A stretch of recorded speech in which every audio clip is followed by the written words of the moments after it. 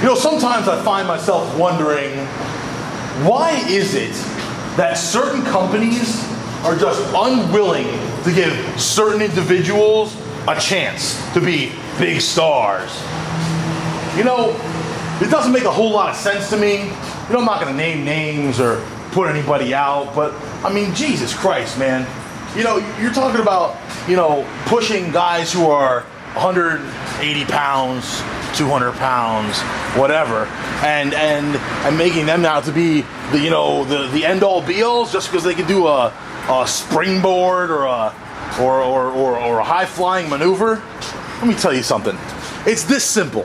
When you got a guy my size or a guy his size, all it takes is one of these, and that 180, 200 pounder doing a springboard is knocked the fuck out.